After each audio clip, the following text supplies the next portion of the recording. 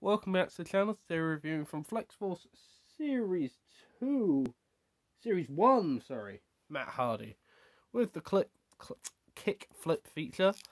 As you can see, legs go back. Not as rusted this time. And it doesn't flip.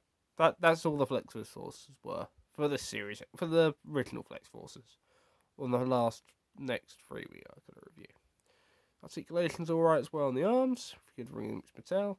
You do have these big clunky hands, which do rip easily, which is an issue. The head I do like. I wish I could take this head off and put on on another. Even on the AWs, I think this head would look great. The gears based off his like, ECW title run.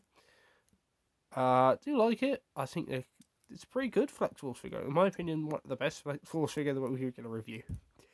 Uh, so yeah, I'd give it a 10 out of 10 Flex Force wise, as I do rank these considering on what the series is. So I'm not going to give, I'm not going to judge a Jakks figure under an ECW under a Jakks figure. I'm not going to judge a Jakks figure under a Hasbro figure, if that makes sense. I'm going to give their own standards their own standards. So yeah, I'd give this a 10 out of 10. So if you enjoyed this video, if you could like, comment, and subscribe, that does help me out a lot. Thank you, and goodbye.